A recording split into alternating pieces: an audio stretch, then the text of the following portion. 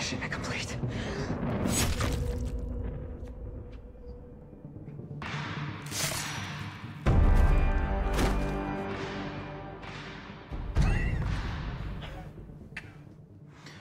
On my world, we had our own 7734.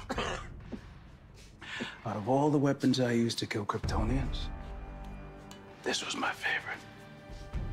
I'm not your enemy.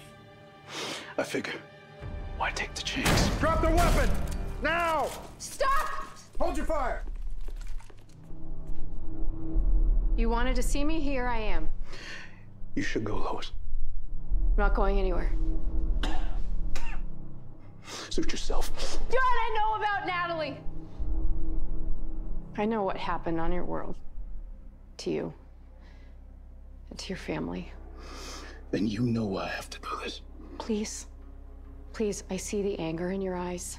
It's covering something I can relate to. The torture that comes from wondering if you failed. If there was something you could have done to save them, but there wasn't. If there had been, you would have found it.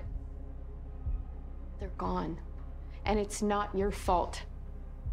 But it's not his fault either. You don't know what's coming. John, our worlds are different. Our Superman is good.